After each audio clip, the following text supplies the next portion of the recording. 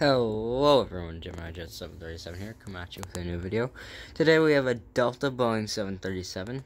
Um, this is my newest aircraft yet, and sorry I haven't uploaded in a very long time of the airport, and the airport has been taken apart.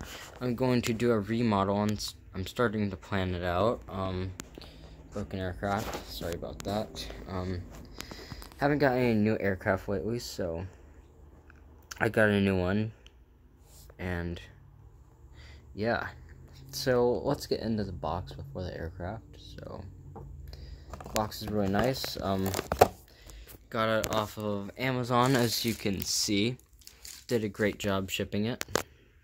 No dents or anything in the box. Pretty nice. Maybe right there, but it's really as it gets.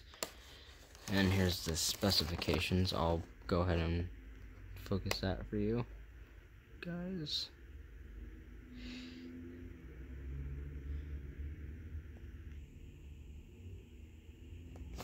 There we go.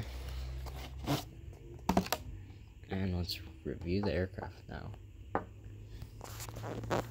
So, this is one of Gemini Jet's newest models. Um, so, they have rolling landing gears.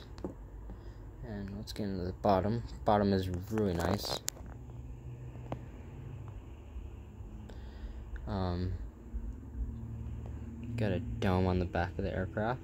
It's really nice. Wings are very nice, de nicely detailed. Winglets are nice.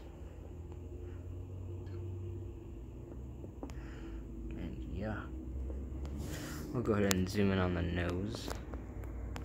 Nose cone, sorry. Sky Team by Delta. Nose is very nice. Windows are a little different from the older 737-800 that I have, but yeah, it's alright. Engines are nice. Go ahead zoom in on that.